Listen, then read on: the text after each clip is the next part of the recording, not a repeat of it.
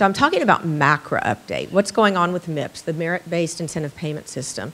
And this is my very favorite picture because the doctor is so uh, just looking at the patient, trying to figure out what to do, and the mother and father there grieving, the family's there, and it's it really to me captures the epitome of the patient-physician relationship. And you'll notice that they're in the patient's home.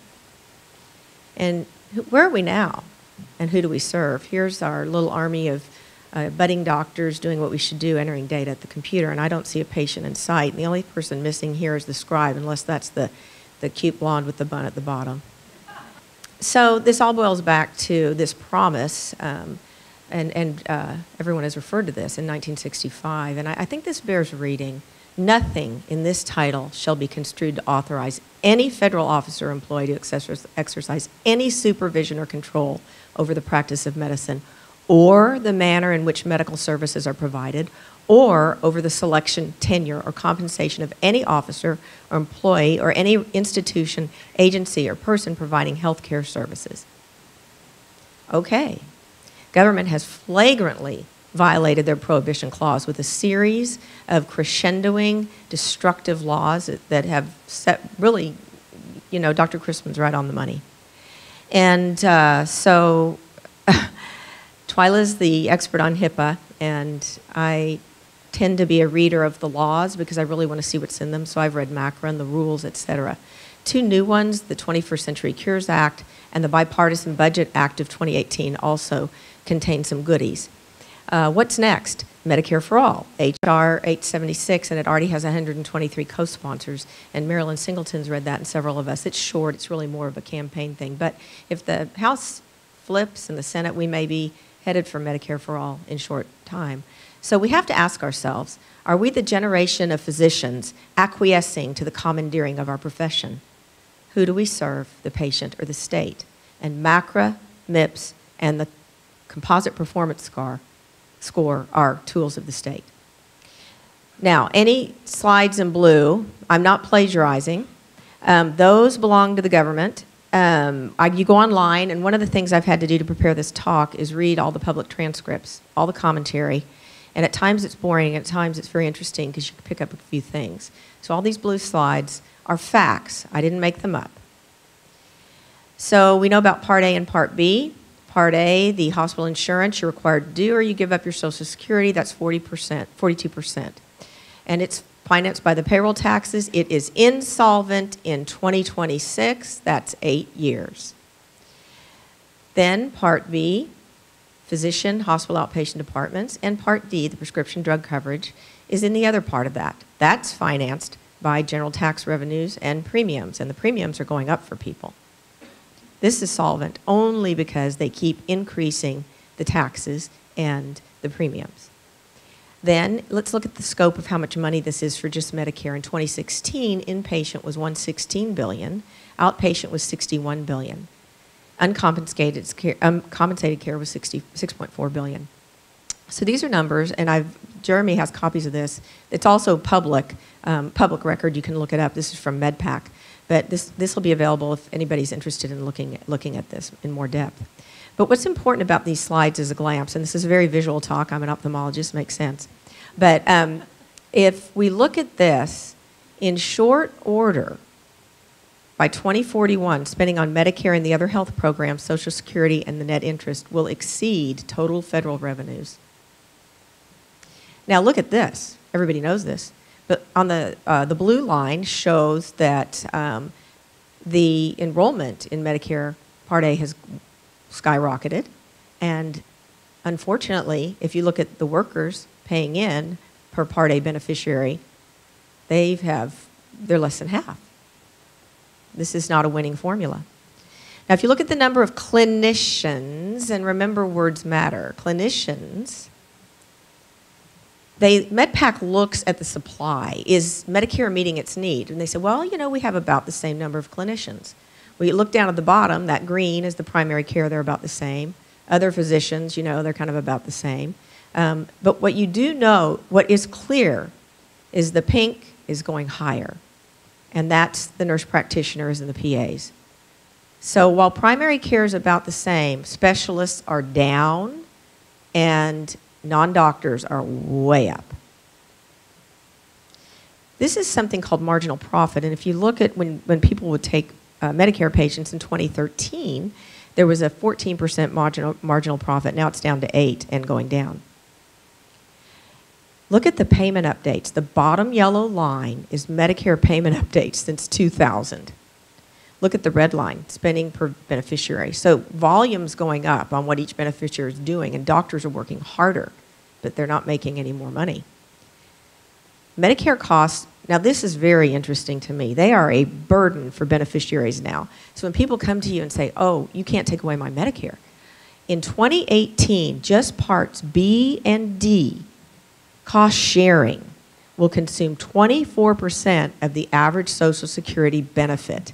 In 1980, this was 7%. In 2035, 30% of people's Social Security benefit will be going to pay Part B and D. On average, Social Security benefits account for more than 60% of seniors' incomes. But look at this for 20% of seniors, their Social Security is 100% of their income. So, in short order, I mean, right now, 25% of their income is going to health care, whether they use it or not. And this is what's interesting, too. The um, health care spending for premiums outpaced the household income over the last 10 years by a substantial amount used to be that that was about 24% of the household income for, for a family. If you look at what the premiums are now, it's a third. That's quite shocking. The yellow line is Medicare per capita growth, and look at the blue and pink. Employer sponsored HMO plans and employer sponsored PPO premium growth has grown twice as fast as Medicare costs. And this, these insurance companies are just uh, raking it in no matter what they say. And boy, um, by 2022, and folks, we're almost there, uh, Medicare spending is about to hit a trillion dollars. So we have a problem. Um, physician services, about 70 billion in 2016. This is 15% of fee-for-service spending. Now remember, when they talk about these 952,000, let's round it off, a million clinicians that bill Medicare, Remember that five, oh, it's really not even 600,000 that are physicians. Majority, uh, or a significant, maybe a third, are advanced practice nurses, PAs, and even therapists and other providers. So what did, Medi what did uh, MACRA do? Well, you know, the SGR was failing, and SGR was created the same year that MedPAC was. MedPAC was put into SGR to monitor them, not that they pay any attention to them. But MACRA said, well, SGR is horrible, we'd lose 21%, so we're going to give y'all a point 5% increase for 2016 to 2019, but then it's zero going forward for the rest of time. But in order, otherwise, you're going to get maybe get a little benefit, 5% incentive, and everyone said, wow, this is great. How did this happen and how can we stop it? Well, what I've discovered is that stakeholders influence Congress to pass a law using power, money, and messaging, and they create a perceived need if they need to, and then Congress passes the law. Then the executive branch, via CMS, has to write the rules of enforcement. And the proposed rule is released for the public comment, and stakeholders act again. If they don't, it just goes past as they want it to. The final rule is published and the law goes into effect. And then they repeat this process because the rules that they write to restrict anything to happen, if they need to change it, they just write a new law. And then they do new rules and change the intent and the effect of the original law, they increase expense, special interests, third parties, unintended consequences occur, and government control increases why the taxpayers and we the pe we people lose. And I really grieve over MACRA, um, the Medicare Access and CHIP Reauthorization Act. It is truly what I believe is a Trojan horse, the, the implementation of the government takeover of medicine. And so I've written on it, and, and thank goodness for APS because they're the one journal that will uh, take my commentary and help me convey it. Again, a blue slide. I don't make this up. And here are the four categories.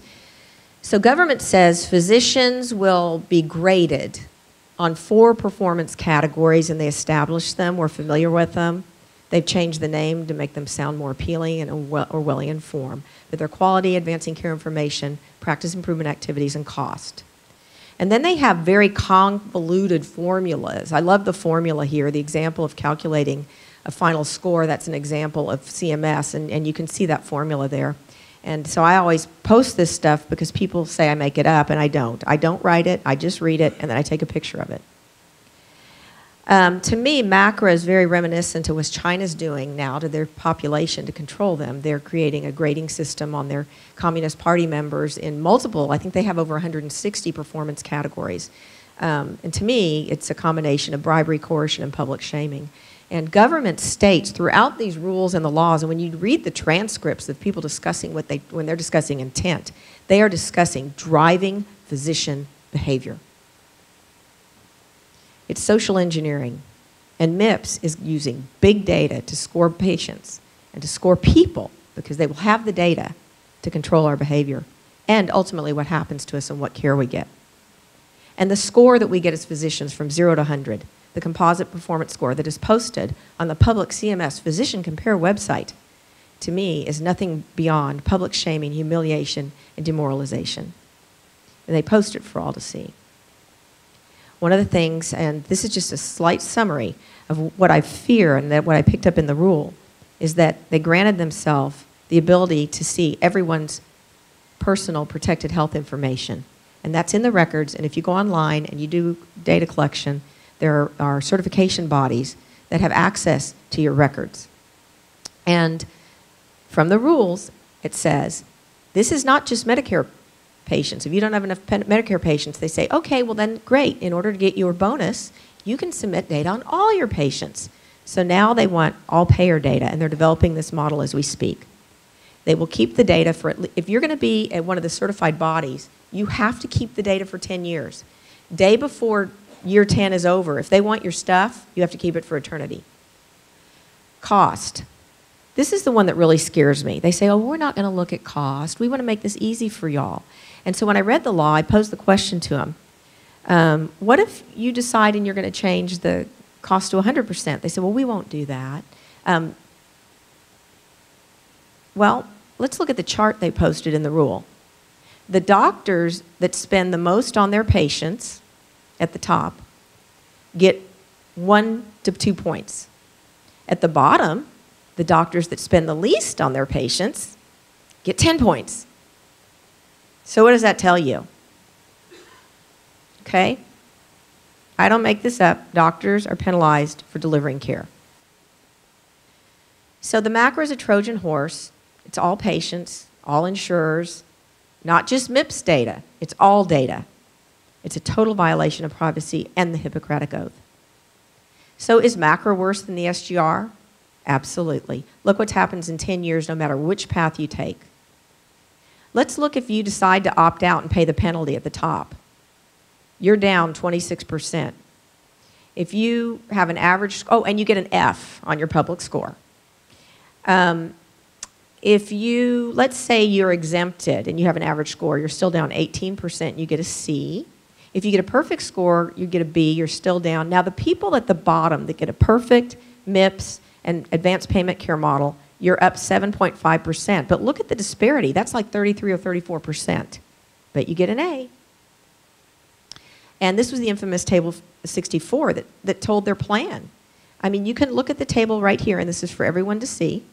What it shows you is that 87% of solo doctors will lose. 70% of doctors in a practice of two to nine will be penalized. On the other hand, in the big giant pack practices with over 100 people, remember it's clinicians. They get everybody in there. And if you have over 100 people, you have an 81.3% chance of getting a positive payment adjustment and only an 18% of having a negative. So small practices will be shuffled into MIPS and stand to lose. And even this guy, Farzad Mostashari, that I listened to, um, says for a solo small practice, it's financial suicide. What does that tell you? The underlying threat is consolidation. They want us to all be employed. Here's another um, MD from the advisory board company. 67% of high Medicare volume physicians view MACRA as a reason to give up their independence. MACRA has more potential to drive consolidation than even the Affordable Care Act. So this is when I went to CMS and I had the ability, I did like, uh, the only time I've ever really, had some respect, and I appreciate the opportunity for Andy Slavitt having me up to address these issues because in Texas, via the TMA and via the AMA, S- Over 60% of our practices are eh, one to three people. Under MIPS, 87% of all these practices are going to lose. And if you have an economically diverse and vast state like Texas, what's going to happen to the patients? And it's that way across the United States. So what they did, they did acquiesce a little bit, and they increased exemptions. They increased that people could be exempt from it. And really, that's what I, they need to do, is just let these big groups have MIPS or MACRA or whatever they want. Let everybody else out. And then the other thing I asked them is who's going to pay for all these other third and fourth and fifth party people you're going to have? And they didn't know, and they didn't know how much it was going to cost.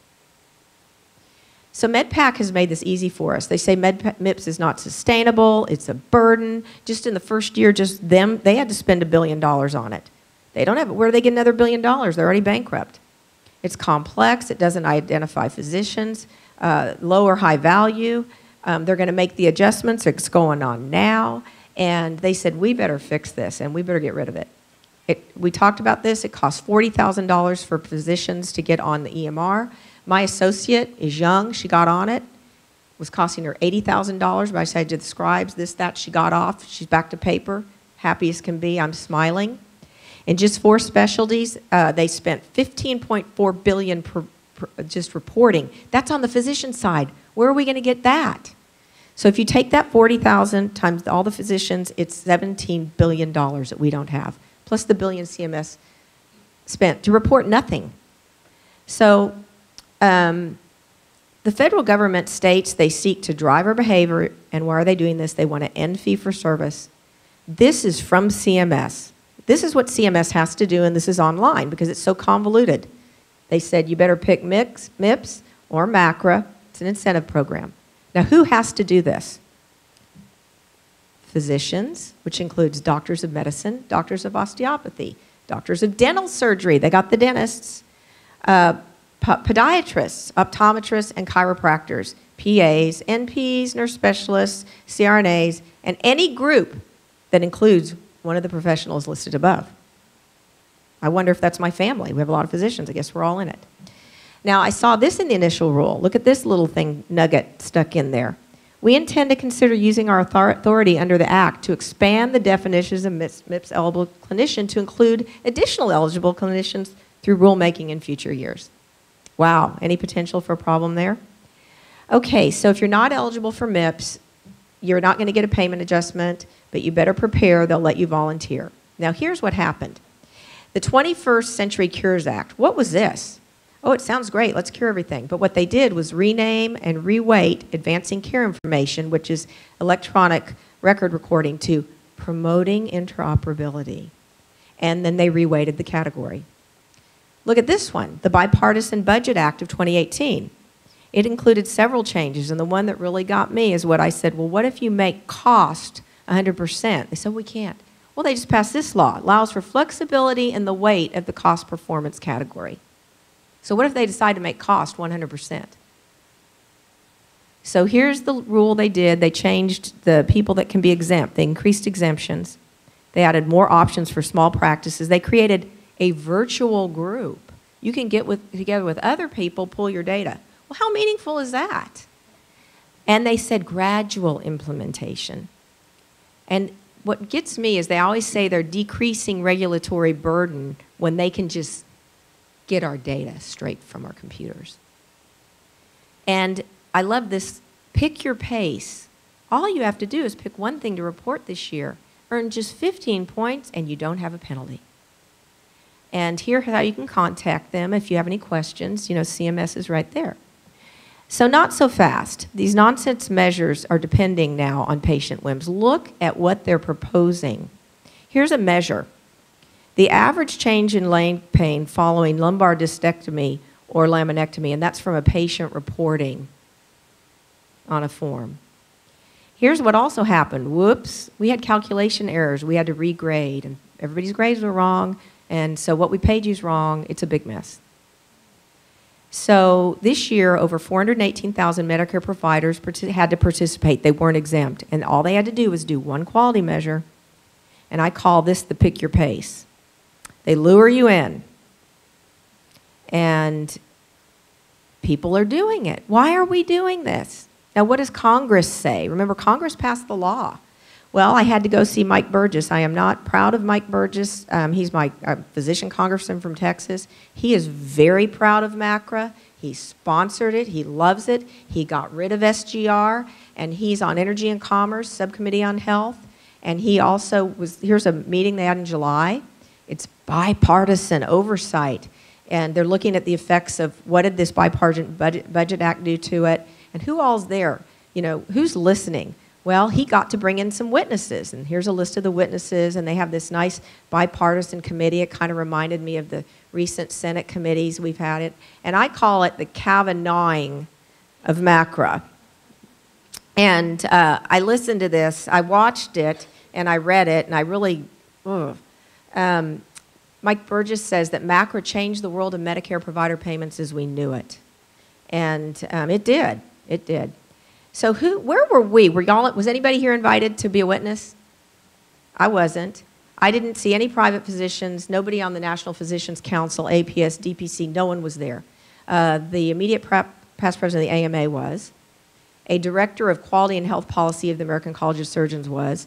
A government relations uh, um, person from a- uh, Ascaris, because we have a big data bank you can report in and they get paid for that. The head of the um, American Medical Group, a trade association leading the transformation of healthcare in America, and then a big board of the American Physicians Groups. So he got real big business, big group people to come. And um, the majority of practices were not represented. And the big idea here, the witnesses said, more clinicians need to be subject to MIPS. They cannot have the exemptions. And every single one of them said this. And they said, well, we realize they don't have the resources to do it, but We've been working on it, and we would be unfairly penalized if you don't make them get in and lose so we can make more money. That's the current argument. So, um, 58% of physicians are not participating in MIPS, and it, Congress says we need to find a way to move to quality. It's far from perfect, but it's certainly an upgrade. The AMA said their only comment, and they're so um, patsy, they have no courage it's really moved us away from an incentive system to a penalty based program. Yes. Um, this guy, the American Medical Groups Association, said uh, we've got to move towards population health rather than the sickness of patients. I love that one. There should it's just it's beyond what you can imagine. So this is what's going up on Congress now. This one Congresswoman has been listening to her constituents, and she says physicians spend two hours in front of a computer for every hour of direct patient care now. And the use of computers at home for as much as 20 hours a week contributing to physician burnout. That's, they did notice that. And here's uh, some residents I know. Here's my daughter for, at the end of her residency. They literally have to code and get prior auths and push a computer down the hall. The interns, my daughter that was an intern in internal medicine last year, um, she goes, Oh, I'm still doing my notes. Uh, uh, why didn't you go on rounds? Well, the interns don't round anymore. We have to stay back and do the notes, enter data. So, need I say more? So, this is Congressman Burgess's concluding comments. He asked the witnesses, Do they believe MACRA is better than SGR? And the entire panel said yes. And then he said, Should we work together to improve the current system or scrap it? They said, Let's just improve it. And he didn't ask me, I would say scrap it. So um, now, the Doctors Caucus spoke, and they also think that we need to get more doctors to participate. And that's our physician congressmen that are doctors. So the final group I'm going to talk about is MedPAC. What has MedPAC said? And that's the Medicare Payment Advisory Commission, nonpartisan, independent legislative branch. It was established when SGR was. They are supposed to tell the U.S. Congress how is Medicare doing. There's 17 members. They meet publicly. Y'all can read this. Congress didn't, doesn't listen to them. They didn't li- listen to them on SGR, and they're not listening to them on this. And um, here's the thing. Some groups are having trouble with access, mainly the minority beneficiaries. They're waiting longer. We talked about the fact that there's decreased specialists and more non physicians. And from the transcripts, I realized this is quotes, this is pictures from the transcripts. They don't, when services are built incident to a physician's service, they could be performed by PRNP but billed by the physician. We don't have any way to know who's providing the care. They cannot tell who's providing the care. And um, here's why they want more of us to report because a small number of clinicians, a small number, received very high payment adjustments 77% in 2017. So they're seeing that we need to set limits, but nothing works. Everybody's going to get this score. They're not comparable across clinicians. CMS is going to move a lot of money based around uh, based on nonsense. And so because of how the program's designed, during the first year, everything's very compressed, and we know that 90% of people will either get no adjustment or a tiny adjustment. But in three years, very small differences in your MIPS score will be blown up into potentially massive differences in who wins and who loses. So MedPAC says it's inequitable, it's burdensome, it will not improve care, nor will it move, Medicare pro, uh, move the Medicare program and clinicians towards high value. If it was supposed to reward and penalize clinicians based on the value, it does not. We need to act now. We need to get rid of it because right now there's some flexibilities and they realize that the longer people stay in it, the more they're stuck. They're safe. I'm invested. We got to stay in. And there's a mentality that instead of like, we've run to the cliff, stop. They're like, we've spent so much, let's all jump and y'all get behind me. There is no sense of cut your losses in DC. And when these penalties start hitting in a serious way, then there's going to be a call. So, what is MedPAC's answer and recommendation? They said, get rid of it, get rid of it all, but they want a new voluntary value program. So, they're literally debating a new program where they just, right now, across the board, they want to do a complete withholding of everyone's Medicare. They've discussed anything from 2% to 10%. And these are just the blue things. These are their slides. You can read them yourself. They're like, it won't work, um, and it's arbitrary. I mean, there's nothing good about it. It's not sustainable. But what I want you to see, the last thing I want to show you, um, is the voluntary value program is that they're proposing is going to be based on three things clinical quality, value, and patient experience. They want to have uniform population based measurements of clinical quality and patient experience and value. And the way they're going to find out, they're going to withhold the money, and they want population based, claims calculated, patient surveyed measures. So, can you imagine this?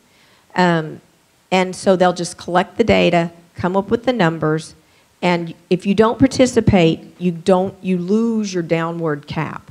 You just give it up.